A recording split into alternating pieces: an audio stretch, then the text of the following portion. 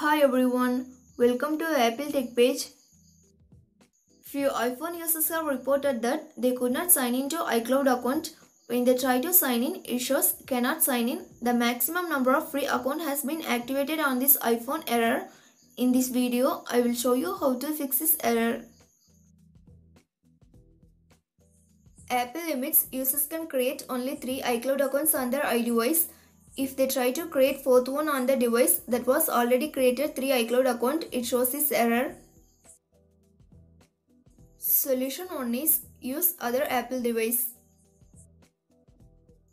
If you have another Apple device like iPhone, iPad or Mac, use it to create a new Apple ID. The device should not be created more than 3 iCloud account. Then only you can create a new one. If you already created iCloud account, then sign into the second device and agree the terms and conditions. Once done, sign into first one. Solution 2 is sign into iTunes and App Store. To do this, go to Settings app. Now scroll down the screen and tap on iTunes and App Store. Here, tap on Sign In, then enter your Apple ID and password. If it's a new Apple ID, you will get this Apple ID has not yet been used in the iTunes Store. Tap Receive and fill the review form. If it's an existing Apple ID, just go to App Store. Now you can download the app and you can also access Apple services.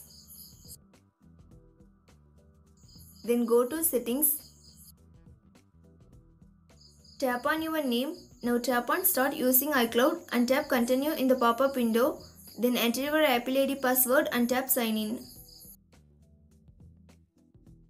Thanks for watching. Do like, share and subscribe to Apple TechPage.